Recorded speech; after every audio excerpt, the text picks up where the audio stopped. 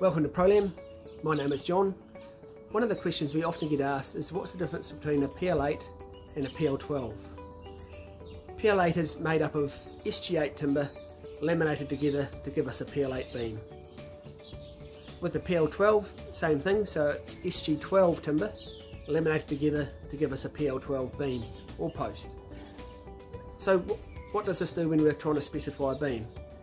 Say we have an opening of a 4.8 the ProLam software program might say we need a 290 high beam to span that 4.8. With a PL12 on the other hand, it could come down to a 240 high beam. They're enabling you to have a smaller beam pocket required for that beam. The same for posts. The ProLam calculator might tell you you need 12 posts, PL8 posts to support a deck. On the other hand, with a PL12, that, that might be able to come down to 8 or 6 posts giving you bigger spacing between your posts so you've got clear openings. I hope you found this informative. If you did, please give it a like. Subscribe to our channel below if you want to see more of these videos.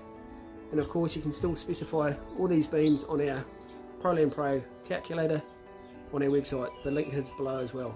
Thank you for watching and have an awesome day.